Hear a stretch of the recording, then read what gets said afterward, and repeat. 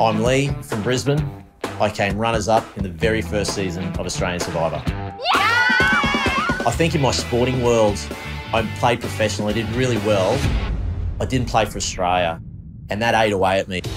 Same with Survivor. I was really successful at it, What a Herculean effort that is! but I didn't win it. I didn't hit the top. I really want to win it.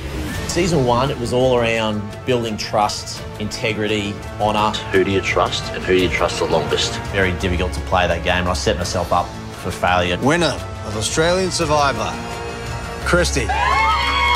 You can't play this game without lying.